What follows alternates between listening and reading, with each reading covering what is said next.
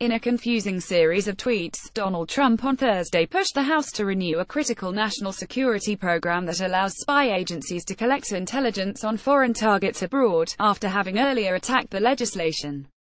A White House official said staffers had consulted with Trump after his initial tweet opposing the administration's stance.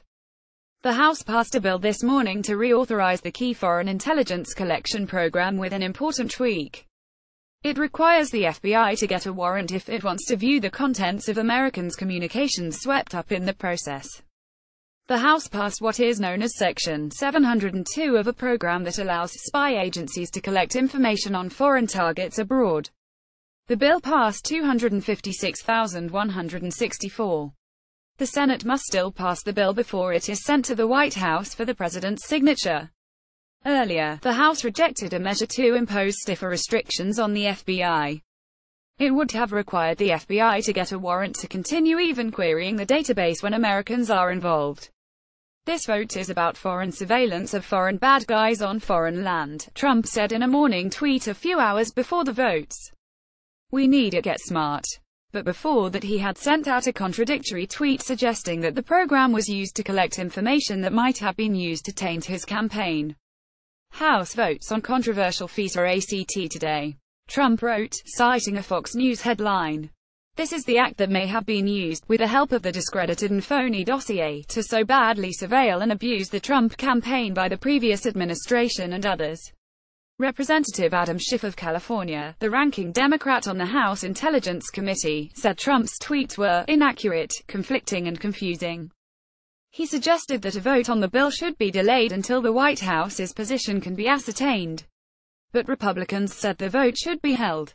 The program allows U.S. spy agencies to collect information on foreign targets outside the United States.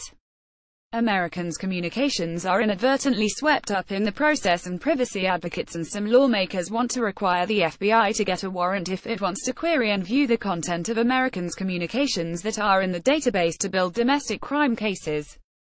Trump's initial tweet linking the FISA program that his White House supports to the dossier that alleges his campaign had ties to Russia seemed to be in opposition to his administration's position, potentially putting the reauthorization vote in doubt. His tweets came shortly after a Fox Friends segment that highlighted the FISA program, calling it controversial. Republican Senator Rand Paul of Kentucky, who has also made the television rounds in recent days, has pushed for less invasive spying measures. The tweet sent White House aides scrambling to explain the apparent about-face.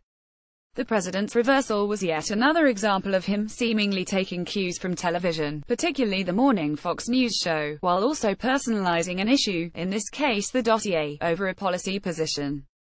There are no obvious links between the dossier and the reauthorization of the spying program, but Trump has repeatedly denounced the document in recent days.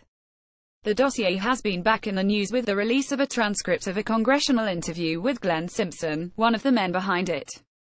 The document, compiled by former British spy Christopher Steele, makes an allegation that there was a conspiracy of cooperation between Russian agents and the Trump campaign, and the president has frequently scorned it since its publication last January. In March last year, Trump drew fierce criticism when he suggested without evidence that Barack Obama had wiretapped his offices in New York before the presidential election.